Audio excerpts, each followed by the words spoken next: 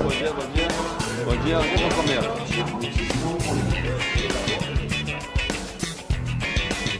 EBX, uma ponte para o Brasil do futuro.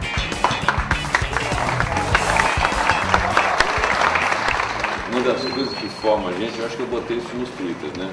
É você, é você passar na vida por estresse. Com 18 anos, meus pais estavam no exterior e é, é, eu e meu irmão ficamos e eles voltaram para o Brasil. E, o dinheiro que eu tinha, mesada, não dava para pagar. Quando você mora em casa, meu amigo, tu tira o carro da, da, da mãe à noite para sair, você tem roupa lavada, né? comida pronta. É diferente.